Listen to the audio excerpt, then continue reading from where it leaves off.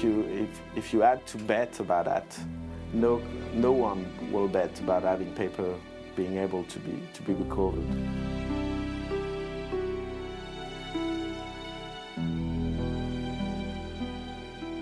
living treasures of music sheets, banknotes, letters, and diaries survived because they were stuffed away inside leather bags, protected from the elements. Today, these personal writings remind us of lives lost. Roy sends best wishes. Wishes he was traveling like you. I wish you prosperity wherever you go. Hello, Roy. Yours sincerely. Wishing you a Merry Christmas and a Happy New Year. Hope to hear from you in the new year. I am just living Sick. from day to day for the time when you will be back. I could not be untrue even if I wanted to.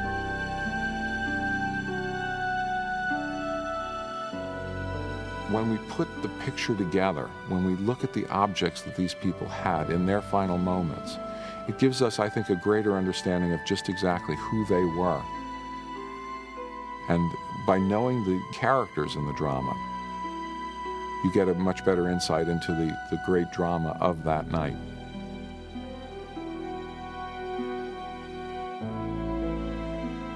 In all, some 5,000 Titanic artifacts have been recovered. Many can now be seen in exhibits throughout the world.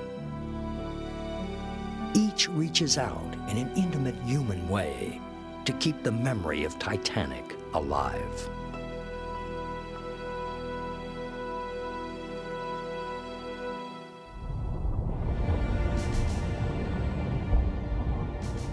The Titanic herself can be considered the ultimate artifact.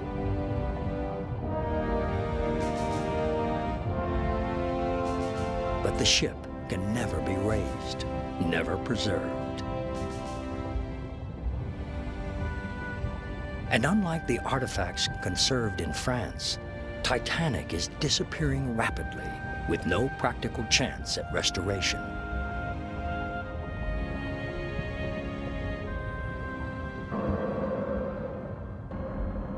At the Titanic site, Roy Cullimore is retrieving his rusticle traps. There may be clues to Titanic's ultimate fate inside these tiny vials.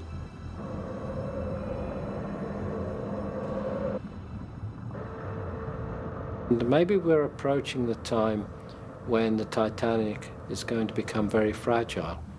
And uh, we need to know how fragile she is becoming.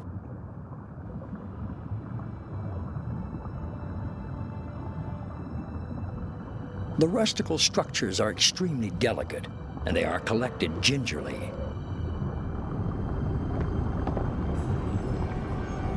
One day, Titanic too may crumble away.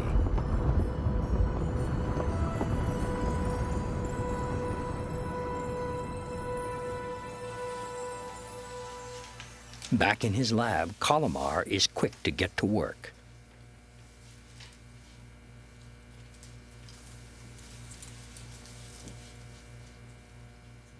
Etchings in a strip of 35 millimeter film show signs of bacteria.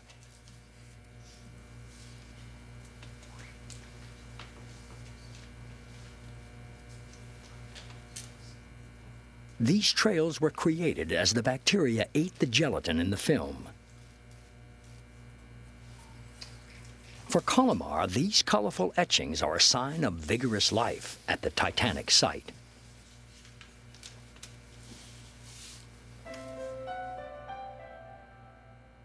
Cullimore discovers many different kinds of bacteria.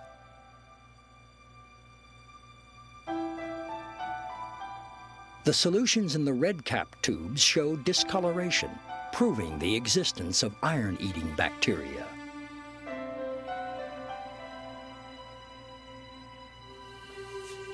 Cullimore confirms that iron bacteria are devouring Titanic.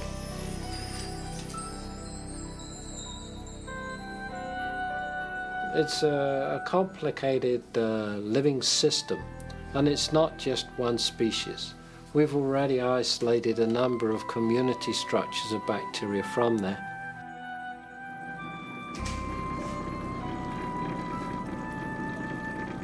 Inside the hard shell of the rusticle, Cullimore has found bacteria, fungi, and other molds.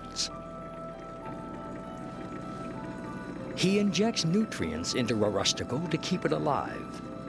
He hopes to discover how they create their unique outer shell.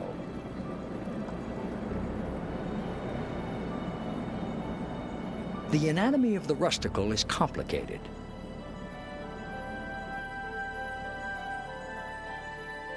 These life forms embody a web of water channels, ducts, and cavities. The amount of surface area packed into the rusticles is astonishing. The science of the rusticles is fascinating from the point of view that the rusticle has such a huge surface area. If I took 650 tons of rusticles on the bow of the Titanic, spread the surface area, it would cover 23,000 square miles of surface area.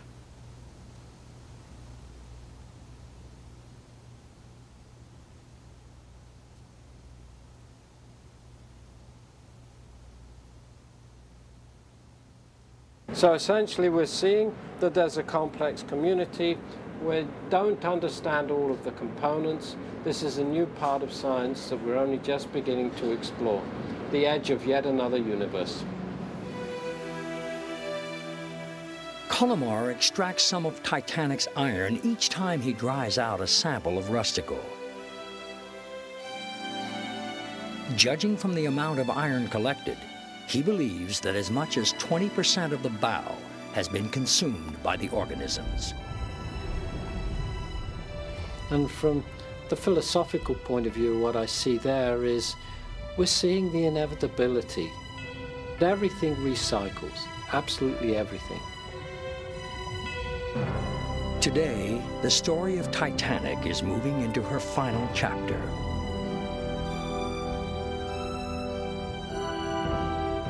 The most luxurious ocean liner in the world is slowly disintegrating, transforming to dust and iron ore. By exploring Titanic before it's too late, the story of her tragedy is kept alive.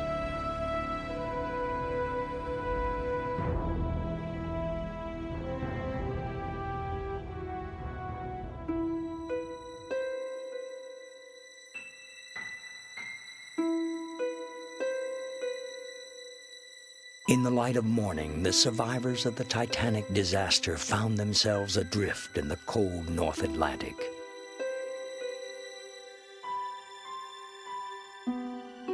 Seven hundred and five people had survived the cold and dark in lifeboats. Twenty-eight men stood until they were rescued on this upside-down boat, often huddled together in prayer The passenger ship Carpathia rescued many survivors that morning. While the rest of the world waited to hear what had happened, most survivors were silent, quiet, stunned. They would complete their voyage to New York, but nothing had turned out as planned. In Titanic's giant berth, her lifeboats were placed where the great ship should have been.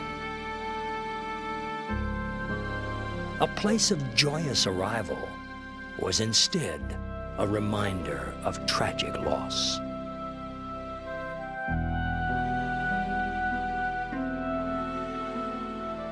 Tragically, a lot of people lost their lives on the Titanic. And I don't think we should dwell on the tragedies so much as learn from the tragedies so that it doesn't happen again. And the Titanic maintains an elegance as if she's saying to us, don't avoid me, but learn from me. Don't avoid tragedies, but learn from tragedies.